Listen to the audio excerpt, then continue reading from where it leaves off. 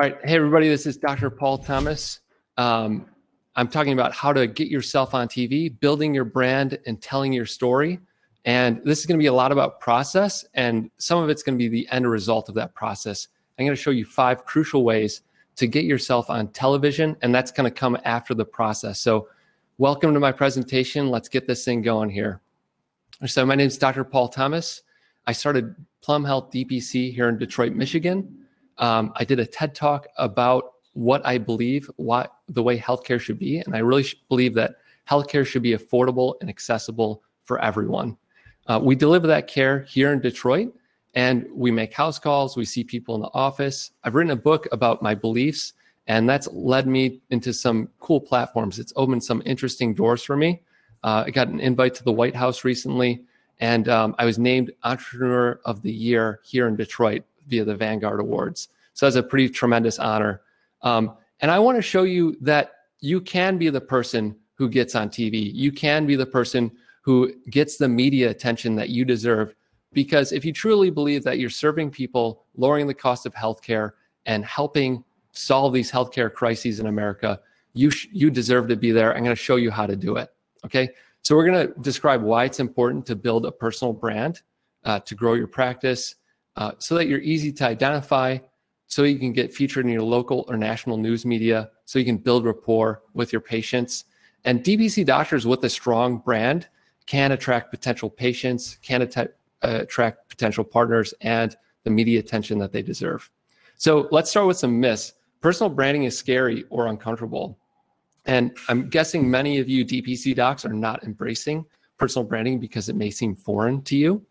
Um, the other myth is I'm a doctor. Isn't that good enough?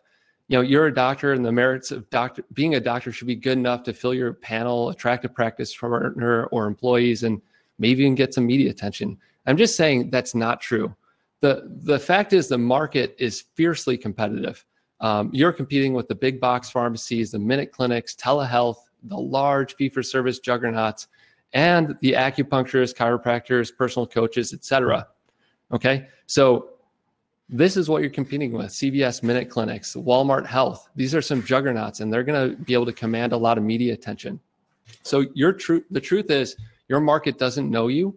Uh, they don't know who you are and what you do. And this is going to be your average direct primary care consumer or the average patient in your computer uh, com- community. And they're going to say, you know, what's direct primary care? They don't really know what this is. So, you have to get out there and show them what it is. So, the truth is, a strong personal brand can help you succeed because in this insanely competitive market, you can build a strong personal brand, a brand to grow your practice and attract media attention. And it all starts with building trust, building trust and rapport with your audience. So let's stop here, take a short poll. I like to be a little bit interactive. What's the demand like for your practice? Tell me, are, you, are you full and do you have a wait list? Are people banging down the door and are you having a hard time keeping up? Um, do you have a steady stream of enrollees, but you want more? You have modest growth, or are you struggling to get anyone through the door? So show me some letters up there. And uh, okay, so we're seeing some D's, we're seeing some C's. Thank you for the feedback. I love it. We got an A up there. Okay. We got some D's and C's coming through, a couple B's in there. Corey, great job with the A. All right, beautiful. So the next one is how do you feel about personal branding? Do you embrace it? Are you able to communicate your mission, vision, values with your community? Are you indifferent? Are you unfamiliar? Or do you just not think it's necessary to be successful and therefore you don't do it? If you are embracing it, I'm going to show you some tools to refine that and, and augment that. And if you're not, I'm going to show you how you can leverage these different tools and resources. Okay, so um, you know, personal brand building a personal brand is all the rage right now. Um, but personal brands have always been around. They used to just be called something else, and that word is character. And so, as a doctor, I know that you have great character. Um, you've done the 36 hour call, you've taken care of people when they have needed it the most. You've been there in their corner to help them uh, when at, at their darkest hour. Okay. So it's what you do when no one's watching, and you've put in those long hours to, to create value for other people. So I'm going to give you a little secret. Your personal brand is character plus communication. Okay. So you have great character and I want to help you communicate it. And to do that, we're going to do a little bit of an exercise. I want some like visceral reactions. I'm going to show some some doctors here, and I want you to to see how you feel about these different docs.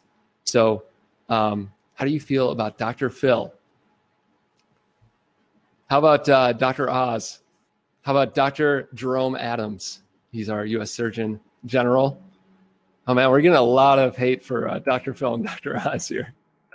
Um, how about ZDogg MD? You know, we love ZDogg MD because he comes out here, he speaks truth to power, he's totally authentic, and we love him for it. Thanks for being here, ZDogg. Yeah, and a lot of people like that too. All right, Dr. Sandra Lee, aka Dr. Pimple Popper. Okay, so um, and last one, Dr. Dre. Anybody?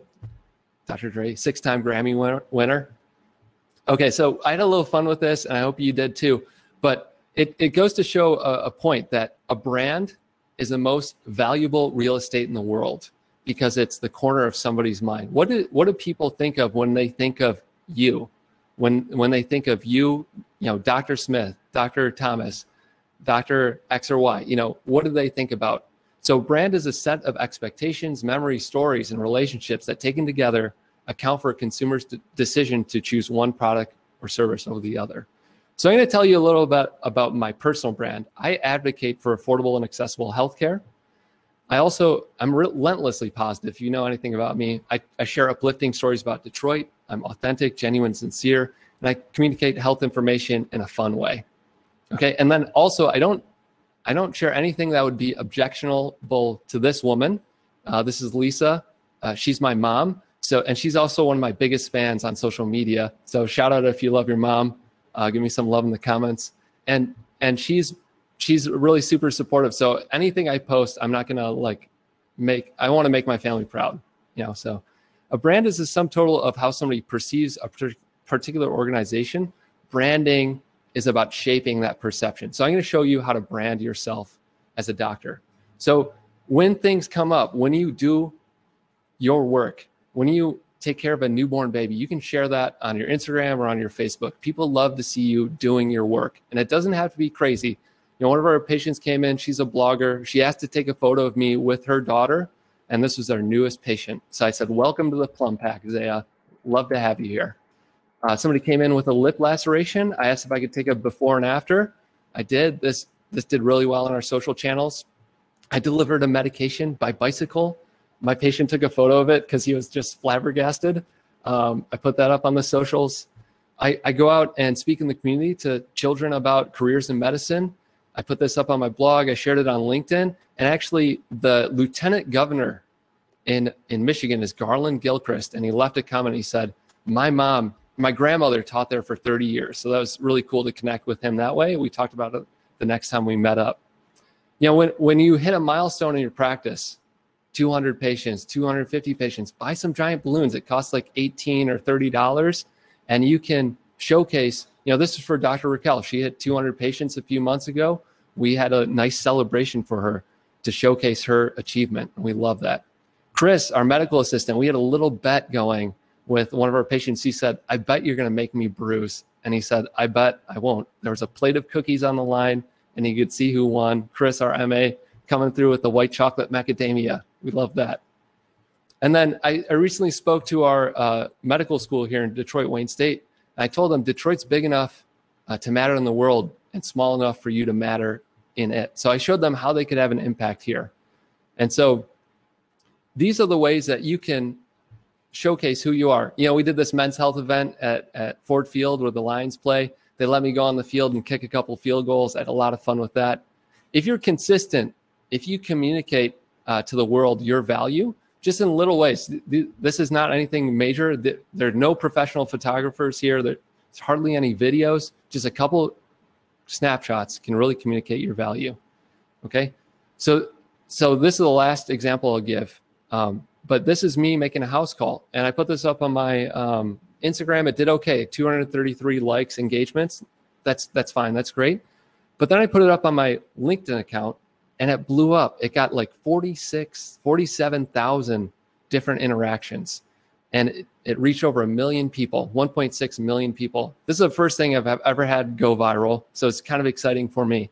And and so like why do these things matter because you can reach a bigger audience you can get more web traffic more enrollments and you can open bigger doors to bigger opportunities. So this is our web traffic after that post went viral on LinkedIn. We had 400 people come to our website.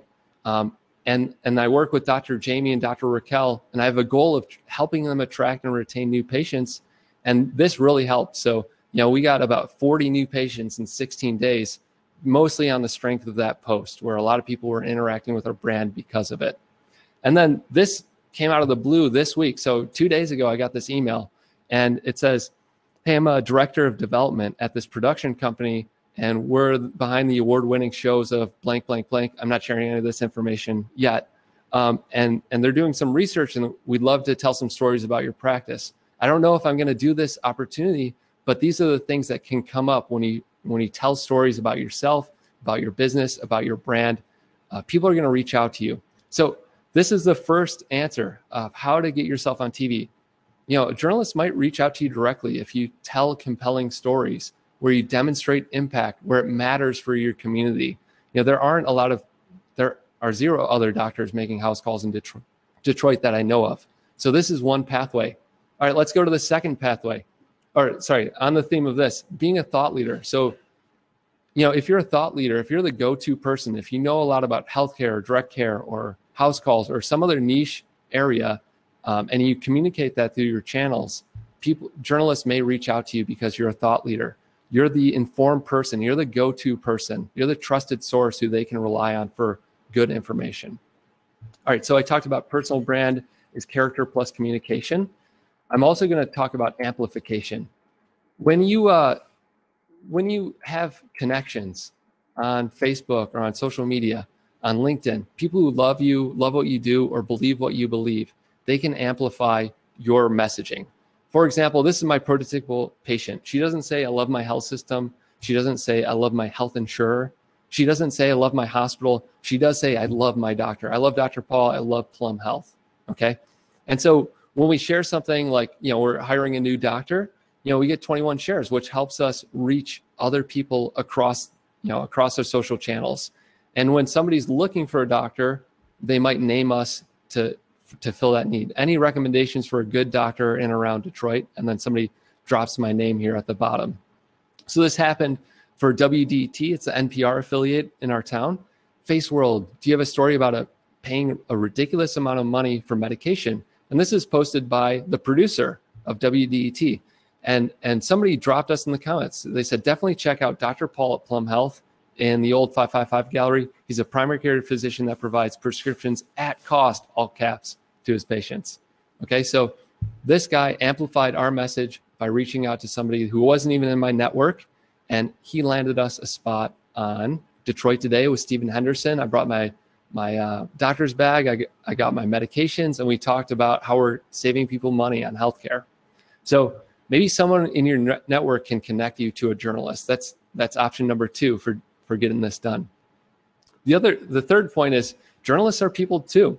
You know, um, they have stories to tell. They're on a deadline. They're willing to feature you if you package it in the right way, if you communicate clearly and succinctly. And then if you follow them on social media, give them lots of love there, they can shout you out. So I follow this guy. Um, he's a journalist, one of the most respected in Detroit, Devin Scillian. And, and we had a good conversation, you know, on Twitter in the past. And I shout him out when he ever, ever goes on his program, uh, talking about politics or healthcare or things like that, things that are interesting to me. And so when I published my book, I sent him a short email with a press release that said, Hey, Devin, I wanted to reach out because I'm just published a book and it's about the impact that we're having. And as you know, open enrollment's on the horizon. And I'd like to talk with you about how we're lowering healthcare costs. And so he said, Paul, would you be available uh, to come to Flashpoint next Wednesday, December 19th at 2.30 p.m.? And so I, I was like jumping up and down at this point, like so freaking excited. And then uh, I was on on the program. They showcased my material. This is a huge boon for our practice. We got a ton of patients to come after this because it it raises our brand value. It's it gives us a lot of legitimacy. And then the payoff was that you know Devin Scillian is now tweeting at me, which is pretty epic. I love that. So um, three, you can regularly engage with the journalist's work on Twitter. You know, journalists have to tweet X amount of time. So can you follow them and share a story with them that's adjacent to what they're concerned about? and maybe you can uh, enter their network. Next up, journalists are people part two. Okay, so anybody a big fan of the Detroit Tigers? Who's a who's a big baseball fan here? Shout out your favorite team in the comments. I'm a diehard MLB Detroit Tigers fan, and uh, oh, we got some Giants, we got some Jays, we got some Go Tigers, Dodgers, Mariners, Red Sox. I love it, guys. Thank you. So there's a historic ballpark that used to be here called Tiger Stadium. It's amazing, and um, you know it was unfortunately closed in 1999. They tore it down and they built a youth sports arena and they built our building, the corner. And a journalist locally, JC, wrote an article that said, you know, apartments and condos are getting snapped up fast at the old Tiger Stadium site. And so I reached out to JC. I said, I recently read your article and I'm a family doc in Corktown and I'll be opening a, a practice here. Would you be interested in writing about it? And he said, Thank you for reaching out. I've been following your innovative practice for some time now, and the upcoming move would be a great opportunity to do a story.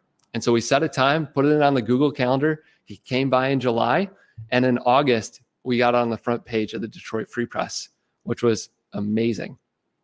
So, so maybe reach out to a journalist who writes or produces a story that is adjacent to your area of concern. The fifth way I'm going to show you how to get onto TV or get into the media is by having a peg or a newsworthy event. Okay, so we're building out a new office and we started from a dirt floor. We had the contractors in, we we poured it so we'd have sinks in our office and all the good stuff that makes it work. And uh, you know, I did some videos, I did some some social media engagement, but then we also wrote up a press release. Plum Health expands into a mixed-use development at the former Tiger Stadium site in Corktown. And so we we invited the mayor, we invited everybody from our community, we invited all of our patients. We got to give the mayor a tour, and uh, we just had a fabulous time with this. Oh, it was a packed house. Uh, this is pre-COVID, obviously. This is back in October, um, and we cut the ribbon. And the ribbon cutting was a peg. You know, in journalist parlance, it's the peg where uh, people get excited about something important. How many of you are missing life pre-COVID? Leave some love in the comments.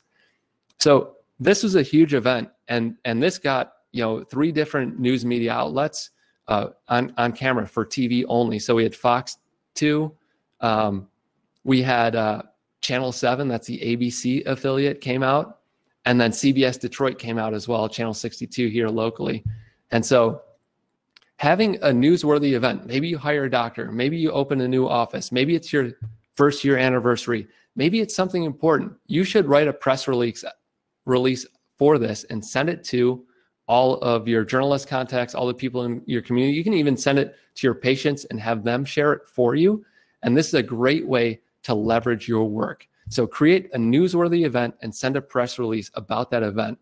Um, so a recap, we're winding down here. We got a couple minutes left. News coverage can more easily communicate the value of your DPC model, and it can reach a broader audience beyond your social media platforms, beyond your listserv, beyond your current patients. News coverage allows your audience to see you as legitimate. News coverage allows you to build trust and rapport with your audience more easily. And like I said before, it's all about building trust. When people are trusting you with their most important commodity, their health, when they're able to trust you with that, they're going to be more likely to sign up for your service. I want you to leave with that. Okay. So know this next steps in building your personal brand. Choose a medium that works best for you and your personality. Choose a medium that plays to your strengths and set goals on how to achieve the personal brand status that you want to have. And then leverage your personal brand to gain more customers and grow to grow your practice. So pick a medium. For you, it might be a blog. For you, you might love YouTube or Facebook or Twitter or Instagram. Anything that you love to do that's going to work for you. Uh, we're not all painters. Some of us are sculptors. Some of us work with pottery. Some love pastels. You know, we're all different. So play to your strengths. Um, and then set goals. You know, how many posts are you going to have? Uh, is it a daily Instagram post, weekly Facebook Live? Um, plan, execute, and be consistent. Okay. When you're on these on these mediums, you want to be consistent, authentic, genuine, sincere. Um, I think ZDogg MD is, does a great job of this. Um, you want to be reliable, predictable, provide value. You want to be trustworthy and have a little fun with it. And so um, I write a lot about this in my book, Startup DPC. Um, thanks to everybody who's picked this up so far. If you want to learn more about me and my style, it's there. And then I also have a website, startupdpc.com, where I share some more tips and tricks for you. Um, and if you have questions, please hit me up at Plum Health DPC, Twitter, YouTube, or email. And uh, just as a bonus, you know, thank you for sticking with me to the end. They said there was no limit on the amount of confetti that I could use during this presentation. So here it goes. Thank you very much, everybody. That was awesome. Um, we had a few questions come through during the uh, during your speech. One person is wondering who takes all the photos for you at each event. Do you hire someone? Is it your staff? Okay, so usually I have a medical student or resident who's with me working the office, and oftentimes I just ask them to take a photo. Um, if we're in the office, I'll just ask my medical assistant to take a quick photo of me with other people.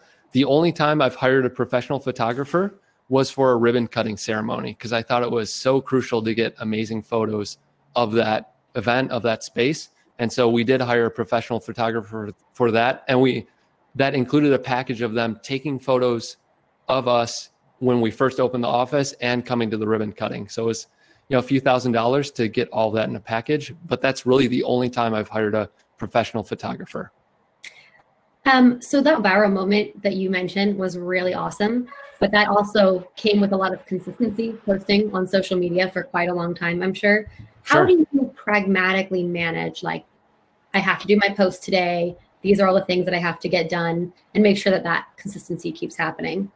Sure. I really just try to set aside one hour each week. And, you know, if I can just get a photo from my phone, I take photos of my practice all the time. I ask patients if I can share it all the time. If I remove a toenail or drain an abscess, I'm going to take a quick photo.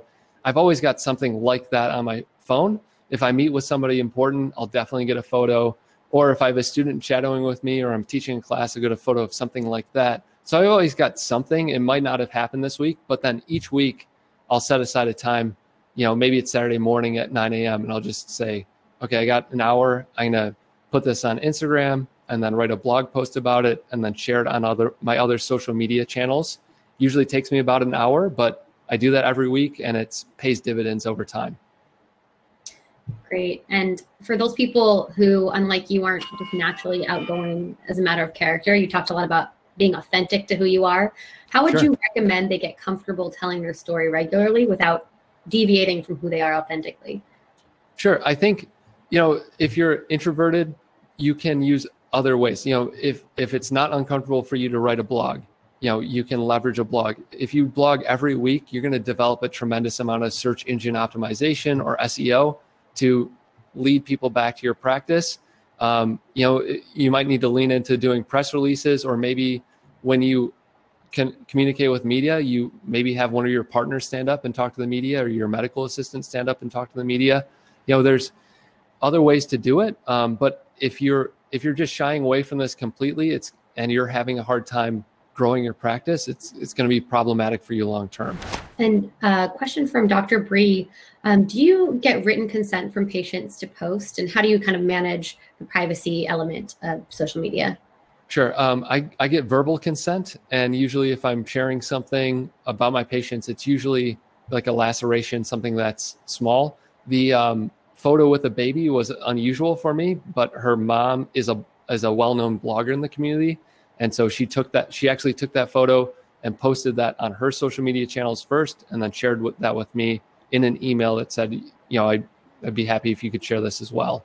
So, um, in in a way, it's written because it's in an e- email, so there's some kind of paper trail there. But if I wouldn't ever post a photo of somebody without their permission.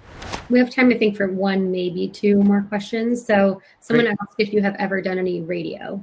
Yeah, I've done a lot of radio. Um, you know, there's a couple radio stations where I've been on a lot. Uh, WDET has actually had me on like five times. Um, once to talk about DPC, and about four times during the pandemic because I was putting out I was putting out a video every week about the coronavirus, and one of their uh, producers picked that up and invited me on to do some Q and A about coronavirus, um, and then a couple other radio stations as well, CBS Radio here in Detroit, notably. It sounds like you learned a lot by yourself. So where do you go to learn some of these skills? Yeah, I definitely read a lot of business books about branding and marketing. So, you know, I know I'm not a business major or anything like that. So when I first started my practice, I read a ton of books. I read Crush It by Gary Vaynerchuk, I read a lot of Seth Godin's books. I read a lot by uh, Grant Cardone, and and they talk a lot about branding and marketing explicitly and implicitly. So if you're looking for more, you know that's there. And then I try to take a lot of that information and you know kind of hone it down into my book, the Startup DPC book, if anybody's interested in that as well. Great. Well, we're just about out of time, so um, check out Paul's book, Startup DPC. Is there a website they can find that on, Paul? Yeah, startupdpc.com. It's on Amazon if you're interested. Um, I'd love it if you give me some love there, drop a review for it. It goes a long way. Thank you so much, everybody. I sincerely appreciate it. And thank you, Hint Health, for having me here today.